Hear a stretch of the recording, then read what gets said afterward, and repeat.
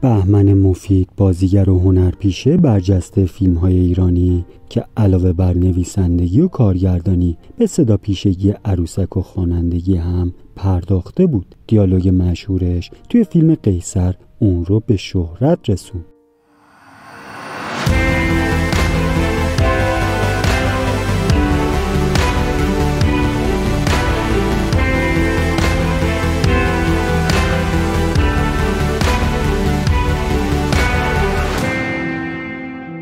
سلام دوستان. به کانال داستانهای ایران خوش اومدید. مرسی که کانال ما رو انتخاب کردید. اگر هنوز عضو این کانال نیستید با زدن دکمه subscribe عضو کانال ما بشید و برای اینکه از آخرین ویدیوهای ما قبل از همه اطلاع پیدا کنید زنگوله کنارش رو هم بزنید.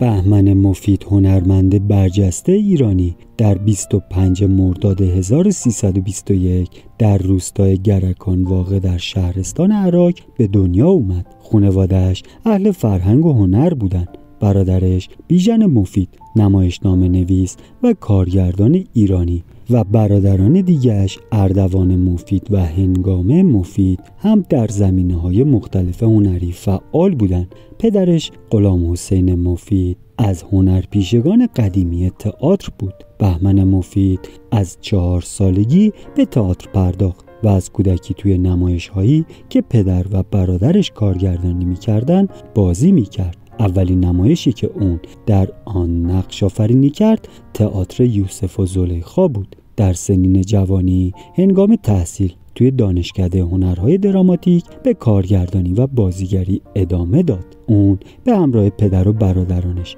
و بازیگرانی همچون بهزاد فراهانی روزا میرلوهی، اسقر آقاخانی و بهرام وطن پرست گروهی تئاتری تشکیل داده بودند. بهمن مفید همچنین با گروه هنری ملی و عباس جوانمرد همکاری داشت. بعد از اون برادرش اردوان مفید تحصیلات خودش رو ادامه داد و فعالیت های اون و همکارانش توسط رژیم شاهنشاهی متوقف شد. در اون زمان بهمن مفید که در وزارت فرهنگ و هنر مشغول به کار بود از این نهاد جدا شد و به سینما رو آورد. از آثار مهم بهمن مفید در تئاتر میشه به بازی در تئاتر شهر قصه به کارگردانی بیژن مفید و نمایش زیافت اثر بهرام بیزایی در آذر 1346 اشاره کرد. اون همچنین با گروهی متشکل از سیروس ابراهیم زاده رامین فرزاد، نیکو خردمند، فهیم راستکار و پروین امیر سلیمانی نمایشنامه هایی رو به کارگردانی بیژن مفید توی رادیو تهران اجرا می کردن. بهمن مفید در افتتاح تالار رودکی تهران با نقش آفرینی در اپرای زال و رودابه به همراه افسانه دهیم و حسین سرشار حضور داشت این هنرمند در سال 1348 با ایفای نقش کوتاهی در فیلم قیصر به کارگردانی مسعود کیمیایی فعالیت سینمایی خودش رو شروع کرد. هرچند که نقش اون کوتاه بود اما دیالوگ معروفی داشت که اون رو جاودانه کرد. بین سالهای 1358 تا 1360 بهمن مفید تنها در سه فیلم بازی کرد. در ادامه اون تنها فرصت بازی در فیلم سرود تولد در سال 1383 رو یافت که با نام مستعار بهمن فریور در اون نقش آفرینی کرد. و بعد به صدا پیشگی و گویندگی در آثار عروسکی مشغول شد. بهمن مفید بعد از انقلاب هم به کار خودش ادامه داد و در نمایش های مردمی که در تئاتر سنگلج و لالزار اجرا می شد نقش آفرینی کرد. همچنین توی فیلم هایی همچون فریاد مجاهد منافق و قدیس به عنوان بازیگر حضور داشت. اما در سال 1360 ناگهان به آمریکا مهاجرت کرد. توی آمریکا چند نمایش میان پرده و همچنین نمایش های ماه و پلنگ شاپرک خانم و چند نمایش کودکانه رو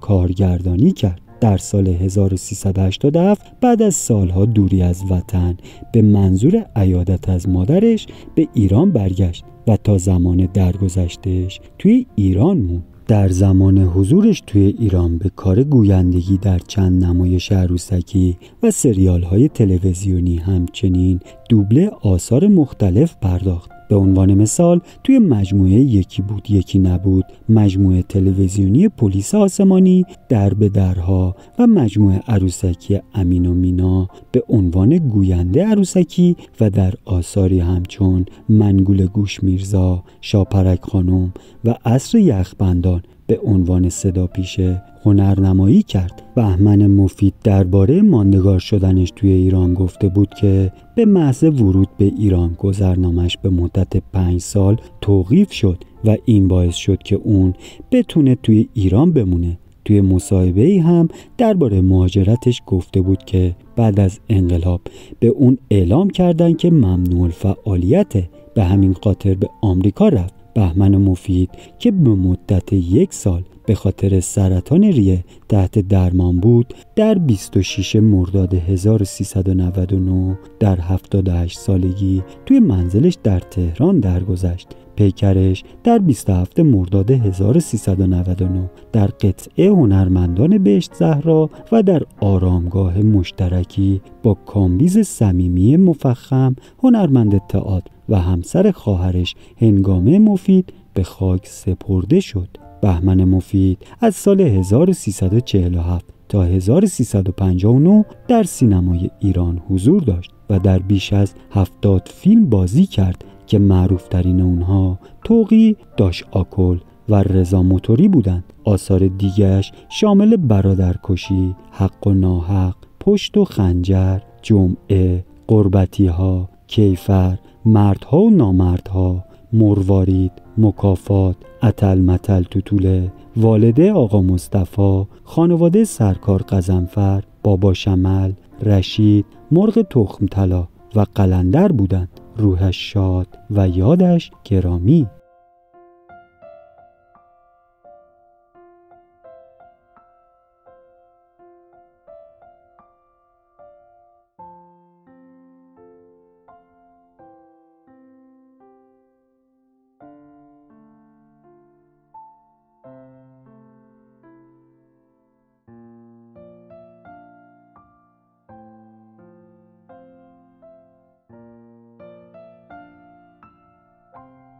دوستان عزیز ممنونیم که با لایک کردن و گذاشتن کامنت از ما حمایت می‌کنید. اگر می‌خواید از آخرین ویدیوهای ما با خبر بشید ما رو subscribe کنید و زنگوله کنارش را هم بزنید. تا برنامه بعد.